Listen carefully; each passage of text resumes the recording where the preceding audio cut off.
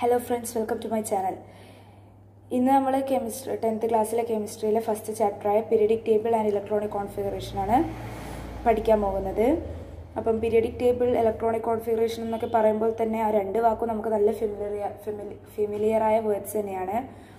നമുക്ക് കെമിസ്ട്രി എന്ന് പറയുമ്പോൾ തന്നെ നമ്മുടെ മനസ്സിലേക്ക് വരുന്നത് പീരിയഡിക് ടേബിൾ അല്ലേ അപ്പോൾ ഇന്ന് വേൾഡ് സ്വീകരിച്ചിരിക്കുന്നത് മെന്റലീവിന്റെ പീരിയഡിക് ടേബിളാണ് അത് നമ്മൾ ലാസ്റ്റ് ഇയർ പഠി പഠിച്ചിട്ടുണ്ട്. പിന്നെ ഇലക്ട്രോണിക് കോൺഫിഗറേഷൻ നമ്മൾ ലാസ്റ്റ് ഇയർ പഠിച്ചതാണ് but shell wise electronic configuration ആണ് പഠിച്ചത്. ബട്ട് ദിസ് ഇയർ നമ്മൾ സബ്ഷെൽ ഇലക്ട്രോണിക് കോൺഫിഗറേഷൻ ആണ് പഠിക്കാൻ പോകുന്നത്. അപ്പം നമുക്കിനി ചാപ്റ്ററിലേക്ക് കടക്കാം.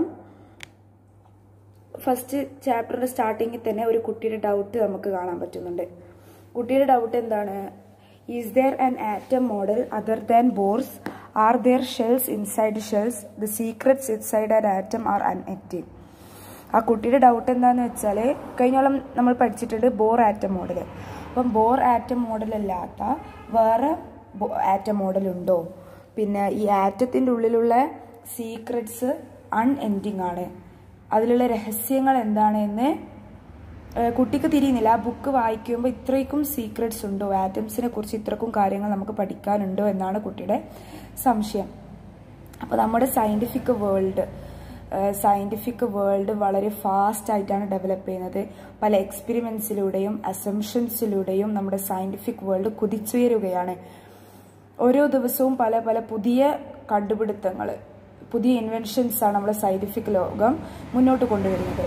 അപ്പം ചാപ്റ്ററിന്റെ സ്റ്റാർട്ടിങ്ങിൽ തന്നെ നമുക്കൊരു ക്വസ്റ്റ്യൻ കാണാം. What is the basis of classification of elements in the periodic table periodic table എന്തിന്റെ ബേസിലാണ്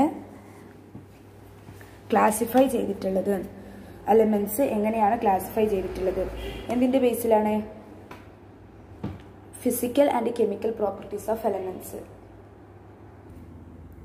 അപ്പം അതിന്റെ answer physical and chemical properties of elements എന്നോ പ്രോപ്പർട്ടീസ് ഓഫ് എലമെന്റ്സ് എന്നോ എഴുതിയാൽ മതി. Next shell wise electronic configuration എങ്ങനെ എഴുതേണ്ടതെന്നും അതിൽ നിന്ന് ഗ്രൂപ്പ് നമ്പറും പീരിയഡ് നമ്പറും എങ്ങനെയാണ് കണ്ടുപിടിക്കേണ്ടത് എന്നും നമ്മൾ നയൻത്തിൽ പഠിച്ചതാണ്. എന്നാലും ജസ്റ്റ് ഒന്ന് റിവൈസ് റിവൈസ് ചെയ്ത് നോക്കാൻ വേണ്ടിയിട്ട് ഒരു എക്സാമ്പിൾ അവിടെ കൊടുത്തിട്ടുണ്ട്. സോഡിയം അതായത് എൻ എന്റെ അറ്റോമിക് നമ്പർ എൻ എന്റെ അറ്റോമിക് നമ്പർ എന്ന് പറയുന്നത് ലെവൻ ആണ്. അതായത് ലെവൻ ഇലക്ട്രോൺസ് ആണ് സോഡിയത്തിലുള്ളത് അപ്പോൾ അതിന്റെ ഷെൽവൈസ് ഇലക്ട്രോണിക് കോൺഫിഗറേഷൻ എങ്ങനെയാണ്? ടു എയ്റ്റ് വൺ ഇത് നമ്മൾ കഴിഞ്ഞ കൊല്ലം പഠിച്ചതാണ്. ജസ്റ്റ് ഒന്നും കൂടി റിവൈസ് ചെയ്യുന്നത് മാത്രം.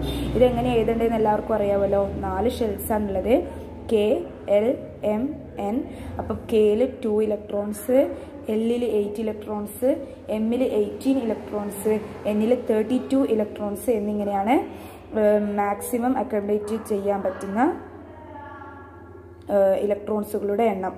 അതുകൊണ്ട് തന്നെ നമ്മൾ സോഡിയത്തിന് ടു എയ്റ്റ് വൺ എന്ന രീതിയിൽ ഫിൽ ചെയ്തിട്ടുണ്ട്. ഇനി അതിൽ നിന്ന് ഗ്രൂപ്പ് നമ്പർ ഇപ്പോൾ സോഡിയത്തിന്റെ ലാസ്റ്റ് ഔട്ടർ മോസ്റ്റ് ഷെല്ലുള്ളതാണ് വരിക. അതുകൊണ്ട് വണ്ണ് പീരിയഡ് നമ്പർ എത്ര ഷെൽസ് ആണ് ഉള്ളത്? അത് സെയിം നമ്പർ ആണല്ലോ പീരിയഡ് നമ്പർ അതുകൊണ്ട് ത്രീ ആണ് പീരിയഡ് നമ്പർ അപ്പോൾ ടെക്സ്റ്റ് ബുക്കിൽ ഉള്ളതിന്റെ ആൻസേഴ്സൊക്കെ നിങ്ങൾക്ക് തന്നെ ഫിൽ ചെയ്യാൻ പറ്റുന്നതാണ്. Next is there group is this group one element metal or non metal എന്നാണ് ചോദിക്കുന്നത്. നമ്മൾ കഴിഞ്ഞ പോലെ പഠിച്ചിട്ടുണ്ട് ഗ്രൂപ്പ് വണ്ണിലുള്ള എല്ലാ എലമെൻസും ഹൈലി റിയാക്റ്റീവ് മെറ്റൽസ് ആണ്. അതുകൊണ്ട് തന്നെ സോഡിയം ഒരു ഹൈലി ഹൈലി റിയാക്റ്റീവ് മെറ്റലാണ്. ഇനി നമുക്ക് ബോർ മോഡൽ പ്രകാരം ഒരു രണ്ട് ഒരു കൺസെപ്റ്റ് പഠിക്കാനുണ്ട്. According to the Bohr model and atom electrons are arranged in various shells around the nucleus and there filled in increasing order of energy ഈ കാര്യം നമുക്കറിയാം. ബോർ മോഡൽ എങ്ങനെയാണ് ഇലക്ട്രോൺസ് ഫിൽ ചെയ്യുന്നത് എങ്ങനെയാണ് വരക്കുന്നതെന്ന് നമ്മൾ കഴിഞ്ഞ പോലെ പഠിച്ചതാണ്.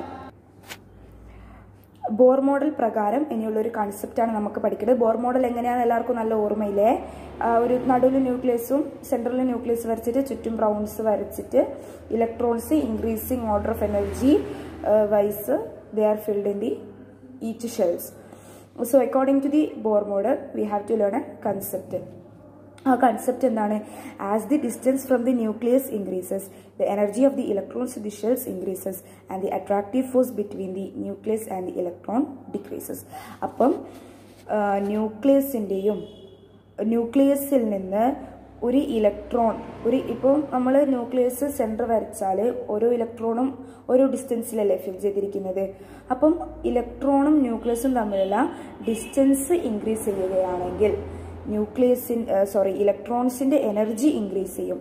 ബട്ട് ദി അട്രാക്റ്റീവ് ഫോഴ്സ് ന്യൂക്ലിയസും ഇലക്ട്രോൺസും തമ്മിലുള്ള അട്രാക്റ്റീവ് ഫോഴ്സ് ഡിക്രീസ് ചെയ്യും. അതായത് ആകർഷണ ശക്തി അതായത് ആകർഷണ ബലം ഡിക്രീസ് ചെയ്യും. അപ്പോൾ എന്താ ഇവിടെ മനസ്സിലാക്കേണ്ടത് എന്ന് വെച്ചാൽ ഡിസ്റ്റൻസ് ന്യൂക്ലിയസും ഇലക്ട്രോൺസും തമ്മിലുള്ള ഡിസ്റ്റൻസ് ഇൻക്രീസ് ചെയ്യുന്നതോറും ഇലക്ട്രോൺസിന്റെ എനർജി ഇൻക്രീസ് ചെയ്യുകയും ഇലക്ട്രോൺസും ന്യൂക്ലിയസും തമ്മിലുള്ള അട്രാക്റ്റീവ് ഫോഴ്സ് ഡിക്രീസ് ചെയ്യുകയും ചെയ്യും.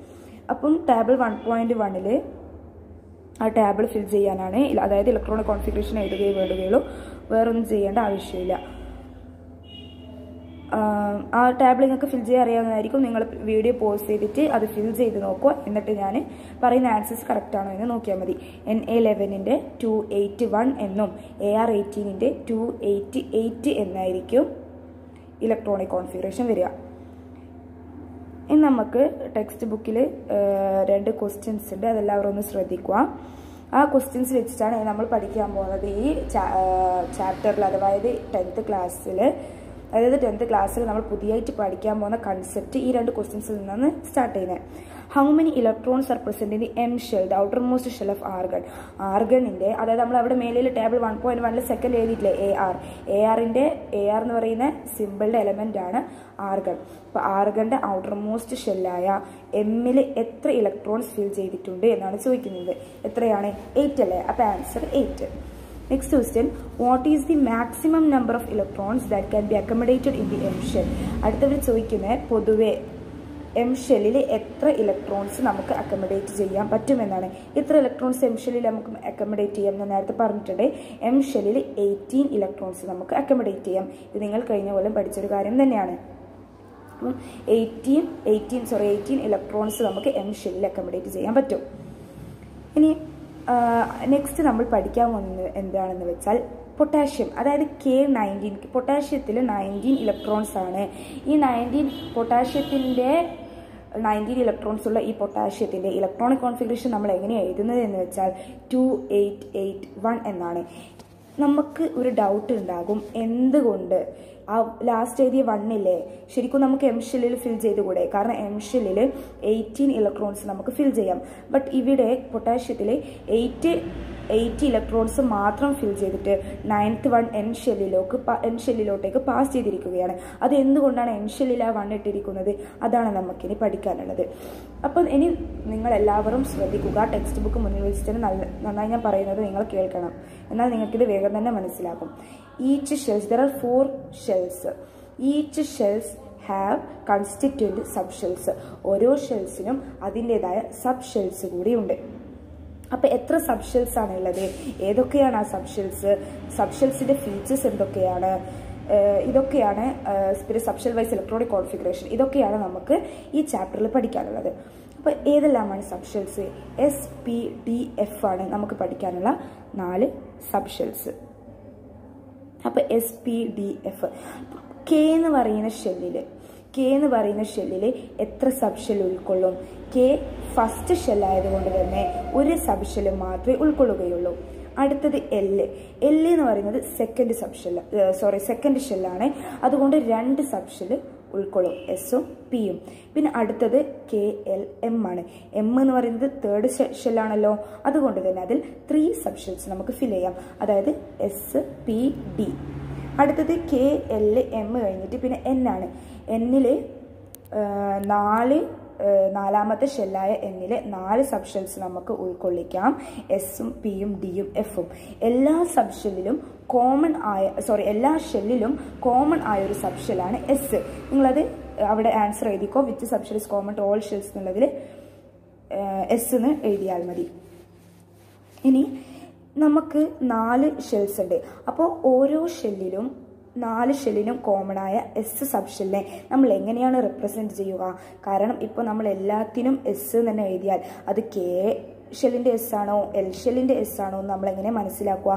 അതുകൊണ്ട് തന്നെ സബ് ഷെല്ലിന്റെ ഒന്നിച്ച് സബ് ഷെല്ലിന്റെ കൂടെ ഷെൽ നമ്പറും കൂടി എഴുതണം. അതായത് ഇപ്പോൾ കെയുടെ എസ് ആണെങ്കിൽ അതായത് കെ ഷെല്ലിയുടെ എസ് സബ് ഷെൽ ആണെങ്കിൽ നമ്മൾ അവിടെ വൺ എസ് എഴുതണം.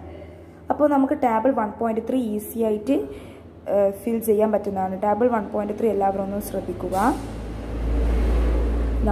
ടേബിൾ വൺ പോയിന്റ് ത്രീയിൽ ഫസ്റ്റ് കെയിലുള്ള എസ് ആയതുകൊണ്ട് വൺ എസ് നെക്സ്റ്റ് എല്ലിൽ എസും പിയും ഉണ്ടാവുക ഉണ്ടാവും ഉണ്ടാവുമല്ലോ. അതുകൊണ്ട് എല്ലിലുള്ള എസ്സിനെ ടു എസ് എന്നും എല്ലിലുള്ള പിയിനെ ടു പി എന്ന് എഴുതുക. അടുത്തത് കെ എൽ എം ആണ്. എമ്മിലുള്ള എസ്സിനെ ത്രീ എസ് എഴുതുക. ത്രീ പി ത്രീ ഡി പിന്നെ എന്നിലുള്ളതിന് four S four P four F അതായത് ഒന്നും പറഞ്ഞില്ല.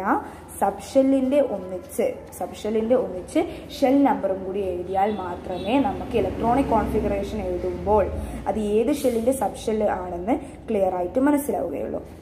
അപ്പം ബാക്കി ഞാൻ നെക്സ്റ്റ് പാർട്ടിൽ ബാക്കി ചാപ്റ്ററിന്റെ ബാക്കി ഭാഗം ഞാൻ നെക്സ്റ്റ് ചാപ്റ്ററിൽ പറഞ്ഞു തരുന്നതാണ്. അപ്പോൾ നമുക്ക് നെക്സ്റ്റ് പാർട്ടിൽ വീണ്ടും കാണാം. അതുവരെ bye thank for watching my video